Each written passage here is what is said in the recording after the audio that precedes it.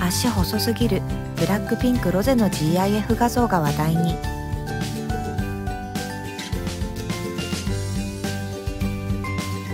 ガールズグループブラックピンクのリアリティ番組。24時間365日 with ブラックピンクに登場した。